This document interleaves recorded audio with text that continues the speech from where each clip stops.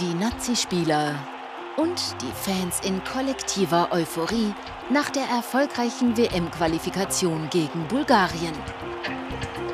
Und auch an der WM selbst hoffen Verband und Mannschaft auf lautstarke und zahlreiche Unterstützung.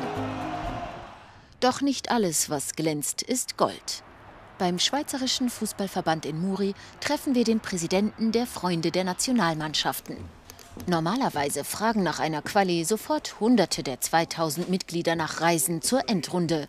Auch diesmal? Bis heute nicht eine Anfrage. Keine einzige? Keine einzige. Gründe dafür sieht Lugin Bühl mehrere.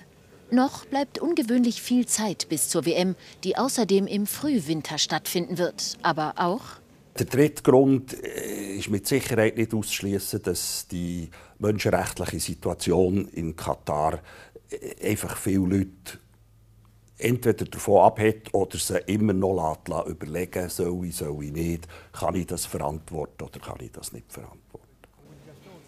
Der Präsident des Fußballverbands, Dominique Blanc, bleibt zuversichtlich, dass viele Fans die Nazi in Katar unterstützen werden.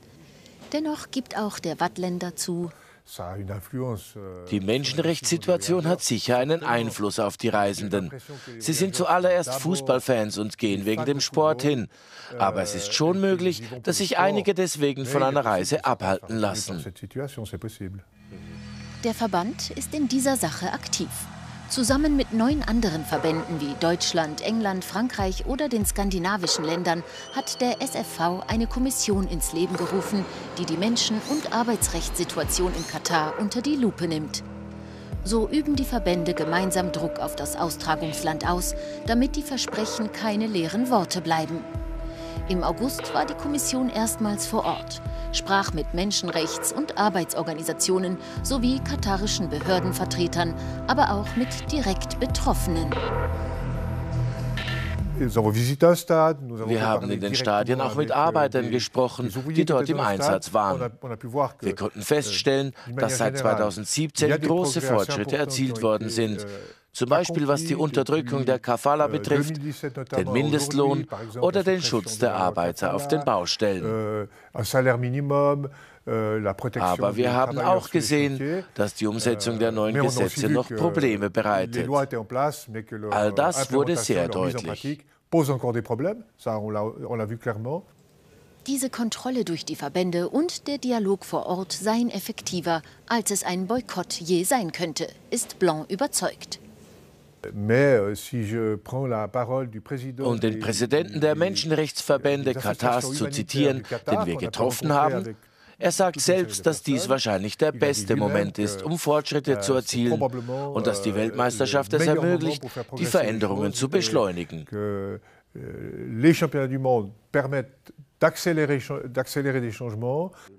Auch die Freunde der Nationalmannschaften stehen hinter dem Engagement des Verbands, wünschen sich aber, dass den Forderungen mehr Nachdruck verliehen wird. Die Lautstärke kann man auch reglieren.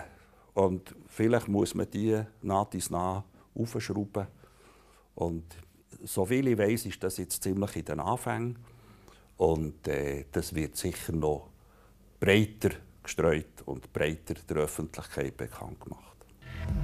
Ein visueller Protest der Schweizer Mannschaft, wie hier von Deutschland, Norwegen oder den Niederlanden, ist allerdings nicht zu erwarten.